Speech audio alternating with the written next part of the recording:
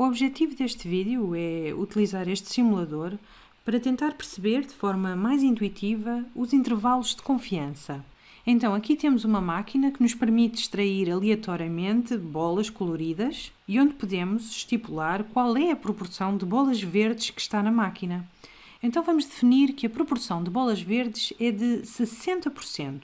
60% das bolas na máquina são verdes. E vamos supor que alguém se aproxima da máquina, mas não sabe qual é a proporção de bolas verdes que definimos. Mas aquilo que pode fazer é extrair amostras de bolas dessa máquina. Então vamos dizer que essa pessoa vai fazer uma extração de 50 bolas. A dimensão da amostra que vai fazer é de 50. E então faz a extração de uma amostra e por acaso a proporção de bolas verdes nessa primeira amostra foi de 0,6, foi de 60%. Mas depois é feita outra extração e agora, nesta segunda extração, a amostra tem uma proporção de 0,52. 52% das 50 bolas extraídas eram verdes. E podemos pensar nestas proporções da amostra como estimadores da proporção de bolas verdes em toda a população.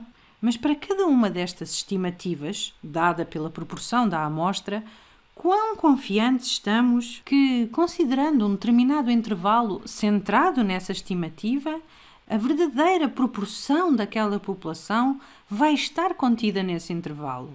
Então, se viermos até aqui, temos um separador chamado intervalos de confiança, e é para isto que os intervalos de confiança nos vão ser úteis. E aquilo que estamos a dizer é que existe um nível de confiança de 95%. Este valor, 95%, é um dos níveis de confiança mais frequentemente utilizados. E o que ele nos diz é que, qualquer que seja a proporção da amostra, existe uma probabilidade de 95% da proporção da população estar dentro de um intervalo que fica definido calculando duas vezes o valor do desvio padrão acima e abaixo dessa proporção da amostra. Ou seja, a proporção da população, 95% das vezes, vai estar contida neste intervalo. E se não soubermos quanto é a proporção da população, também não vamos conseguir calcular o desvio padrão da população e vamos ter de recorrer ao desvio padrão das amostras. E por isso aqui temos duas vezes o desvio padrão da amostra à direita da proporção da amostra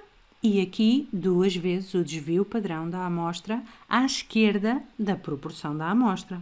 E o nosso intervalo de confiança será tudo isto, desde este ponto até este. E à medida que extraímos mais amostras, podem ver que estes intervalos vão mudando, dependendo daquela que for a proporção daquela amostra, precisamente porque estamos a usar a proporção da amostra para calcular o intervalo de confiança. Isto, claro, porque estamos a assumir que quem está a fazer estas extrações não sabe a proporção da população.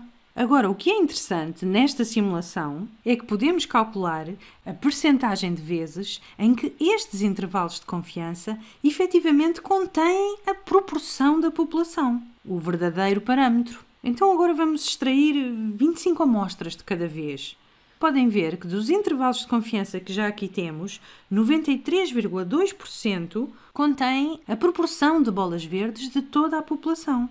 E podem ver que quantas mais amostras forem extraídas, mais esta percentagem de intervalos de confiança que contêm a proporção da população se aproxima de 95%. Temos quase 95% de vezes em que estes intervalos de confiança contêm a proporção de bolas verdes na população. E podem ver, se continuarmos a extrair mais e mais e mais e mais amostras, que os intervalos de confiança fazem aquilo que se propõem fazer. Se tivermos intervalos de confiança com um nível de confiança de 95%, estamos a ver que aproximadamente 95% das vezes, 95% das amostras extraídas contêm a proporção da população. Aproximadamente em 95% dos intervalos de confiança que foram construídos, a proporção de bolas verdes na população vai estar contida nos intervalos. E podemos continuar a extrair amostras e de vez em quando vamos encontrar uma amostra que o intervalo de confiança que lhe corresponde não vai conter a proporção de bolas verdes da população. Mas essa será a exceção, porque aproximadamente 95% das vezes essa proporção de bolas verdes da população vai estar contida nos intervalos de confiança.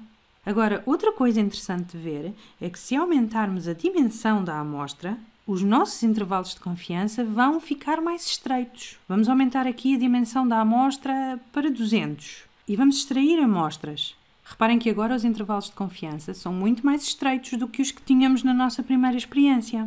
Mas ainda assim, porque o nosso nível de confiança continua a ser de 95%, quando extraímos muitas e muitas amostras, o número de intervalos de confiança que vai conter a proporção de bolas verdes da população vai continuar a ser aproximadamente de 95%. Mas de igual forma, aproximadamente 5% das vezes isso não irá acontecer.